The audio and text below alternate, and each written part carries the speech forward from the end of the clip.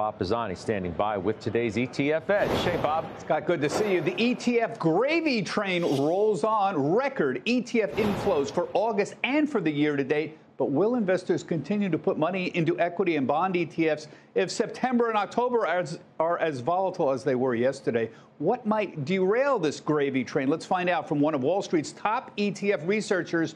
Matt Bartolini is the managing director and the head of SPDR Americas research at State Street. Matt, good to see you. Every metric I'm looking at, a record, monthly, year to date, assets under management near $10 trillion now. ETFs took in 73 billion in August. That was double the average. Will investors continue to put money into equity and bond ETFs if September and October are as volatile as yesterday. Matt, what say you? Well, I think what we saw in August is that they, they will. You know, August to start was extremely volatile. You had significant sell-offs across different e- equity markets, and we still saw inflows. You know, roughly those first nine days, there was still 17 billion of inflows into equity ETFs. Now, once the market recovered, the next couple of days through the end of the month was 56 billion, but there could be some caution going into September to historically a weak month in returns. So I think maybe perhaps focusing a little bit more defensive heading into the months yeah. of September and October, and that means gold ETFs. Gold ETFs have had really significant flows in August and over the last three months.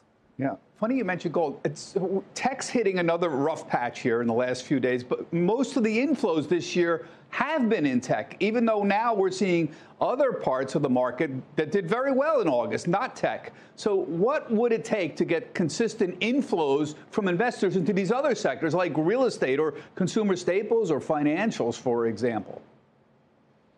Well, I think we started to see a little bit of that in August. So it was still tech centric. Tech overall ETFs did dominate the flows, but there was a broadening of the rally. I mean, I think something should be appreciated is that only three out of the magnificent seven actually were up in August. And we started to see a more broadening of the rally. And that is conducive to having more flows in non tech related sectors. Like, and we started to see that real estate a sector that has a negative beta sensitivity to interest rates. And if we know what the Fed might be doing is lowering interest rates, we could see continued inflows into those debt laden sectors like real estate, utilities, financials lead sectors on a three month basis just behind tech as well. So we're starting okay. to see a broadening, and the broadening of the rally should be helpful for sector flows beyond just tech as well.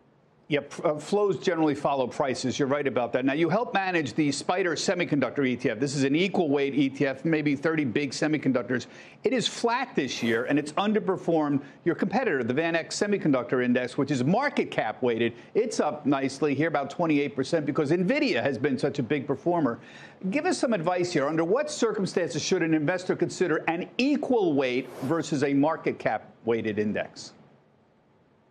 Well, I think this is a good example where market cap weighted is being dominated by one single stock, and that one single stock has gone on a phenomenal run that we haven't seen from really any other stock more in the more recent times.